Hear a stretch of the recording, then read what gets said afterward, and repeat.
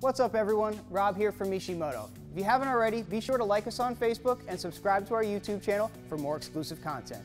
Today we're going to install our aluminum washer reservoir tank in your 2016 Plus Mazda Miata. Let's get started.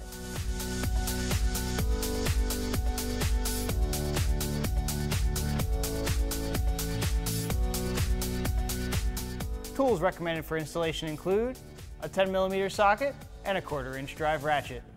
Installation time is under 30 minutes. Installation difficulty is a 2 out of 5. Remove the nut and bolt that secure the stock washer tank to the vehicle.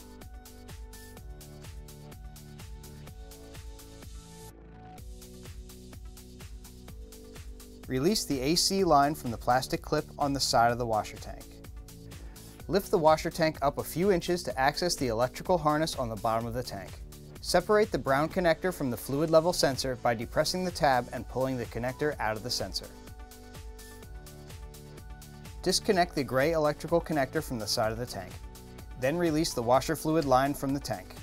Lift the tank upward and slide a container underneath the washer fluid tank. Here I used a cut up coolant bottle which fits nicely in the area where the tank used to be. Remove the washer fluid pump from the tank and drain the washer fluid into your container. As you can see here, the pump is pressed into a grommet on the tank, so it will take some force to separate it. Pull directly outward to avoid damaging the pump. Remove the washer pump grommet from the stock tank. The fluid level sensor is not retained with the Mishimoto tank. Install the washer grommet in the Mishimoto tank.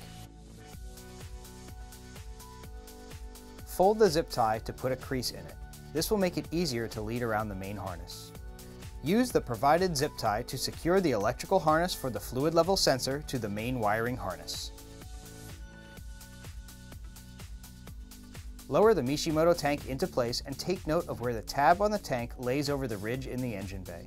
Then remove the tank and install the provided weather stripping over this area.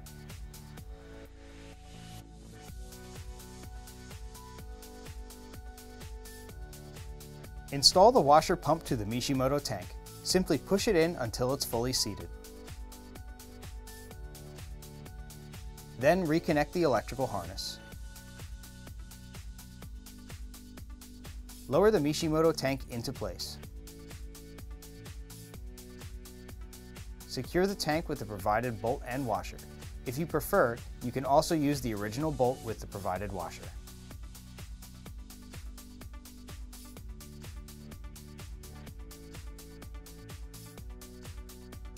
Now that you have the reservoir installed, fill it up with washer fluid and check around the pump O-ring for leaks. Then it's time to hit the road. Don't forget to hit that subscribe button before you head out.